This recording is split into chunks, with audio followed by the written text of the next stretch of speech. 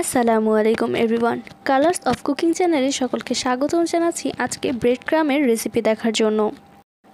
অনেক সময় কিন্তু বিভিন্ন স্ন্যাক্স আইটেম তৈরি করতে গেলে আমাদের প্রয়োজন হয় এই ব্রেড ক্রামের রেসিপিটি ঘরে যদি আপনাদের ব্রেড ক্রাম না থাকে, তাহলে খুব স্বল্প উপকরণে কিন্তু তৈরি করতে পারবেন এই ব্রেড ক্রামটি ব্রেড ক্রাম তৈরি করতে তেমন কোনো উপকরণই লাগে না, শুধু দুইটি উপকরণ দিয়ে তৈরি করতে পারবেন এই ব্রেড ক্রামটি ব্রেড ক্রাম তৈরি করার জন্য প্রথমে যে উপকরণটি নিয়েছি, সেটি হচ্ছে পাউরুটি ব্রাউন অংশ। আমি এখানে প্রায় দেড় কাপের মতো পাউরুটির এই ব্রাউন অংশটা নিয়ে নিয়েছি। অনেক সময় আমরা এটাকে ফেলে দিই। ফেলে না দিয়ে কিন্তু তৈরি করে ফেলতে পারবেন ব্রেড ক্রাম, যেটা স্বাস্থ্যকর হবে। বাইরে থেকে কেনাটা কিন্তু বেশি স্বাস্থ্যকর হবে না, তাই ঘরেই তৈরি করে ফেলবেন ব্রেড ক্রাম। তো এটা তৈরি করার জন্য প্রথমে আমি চুলার নিচে দুই থেকে তিন দিনের মতো এটাকে শুকিয়ে নিয়েছি। প্রায় টোস্ট বিস্কিটের মতো দেখতেই পাচ্ছেন, পুরোপুরি শক্ত হয়ে গিয়েছে। এবার এটাকে দিয়ে দিচ্ছি একটা ব্লেন্ডারের জগে। ঠিক এইরকম একটা ব্লেন্ডারের জগে আমি সবগুলো ব্রাউন অংশ দিয়ে দিচ্ছি। আপনাদের কাছে যদি পাউরুটির ব্রাউন অংশটা না থাকে সেই ক্ষেত্রে কিন্তু আপনারা মুড়ি কিংবা টোস্ট বিস্কুটের যে ইটা থাকে, গুঁড়াটা, সেটা দিয়েও তৈরি করে ফেলতে পারবেন। এবার দিয়ে দিলাম কিছুটা জর্দার রং। আপনাদের কাছে জর্দার রং না থাকলে ফুড কালারও ব্যবহার করতে পারবেন।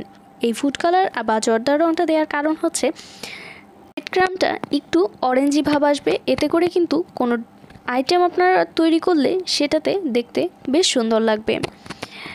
দেখতেই পাচ্ছেন, একটু লালচে ভাব এসেছে, দেখতে কিন্তু বেশ ভালো লাগছে। তাই জর্দা রঙটা দেয়া, আর জর্দার রঙটা না দিলে কিন্তু একদম ফ্যাকাশে সাদা হয়ে থাকতো। দেখতে কিন্তু একেবারেই ভালো লাগতো না। তাই জর্দা রঙটা দেওয়ার চেষ্টা করবেন।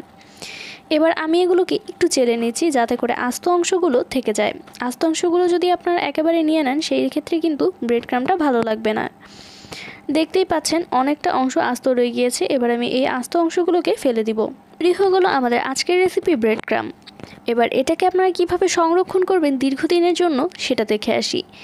এই ব্রেড ক্রামটা যদি আপনারা এভাবেই কোনো বাটিতে বা রেখে কিছুতে রেখে দেন, সেক্ষেত্রে কিন্তু দুই থেকে তিন দিন সংরক্ষণ করা যাবে। আর যদি মাসের পর মাস সংরক্ষণ করতে চান সেই ক্ষেত্রে এরকম একটা কাচের জার নিয়ে নিতে পারেন। এরকম কাচের একটা বয়মে আমি এবার ব্রেড ক্রামগুলোকে ভরে নিব।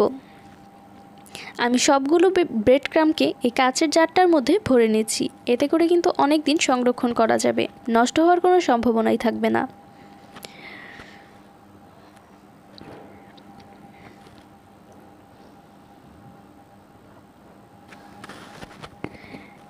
আমি সবগুলোর ব্রেড ক্রাম একটু জাতা দিয়ে দিয়ে ভরে নিচ্ছি। ঠিক কীভাবে ভরছি আপনারা দেখতেই পাচ্ছেন, ভিতরে যেন কোনো প্রকার ফাঁকা না থাকে, ঠিক এইভাবে ভালো করে যেতে ভরতে হবে।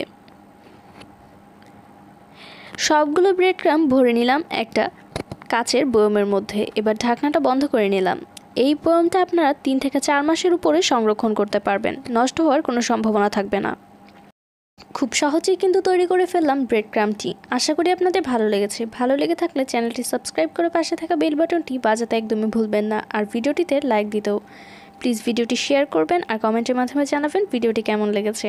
পাশে থাকা ফেসবুক পেজটি আমার ফলো করতে ভুলবেন না। ডেসক্রিপশন বক্সে লিঙ্ক দেওয়া থাকবে। আজকের মতো এখানেই শেষ করছি। অন্য কোনো নতুন রেসিপি নিয়ে আবারও দেখা হয়ে যাবে আপনাদের সাথে। ধন্যবাদ।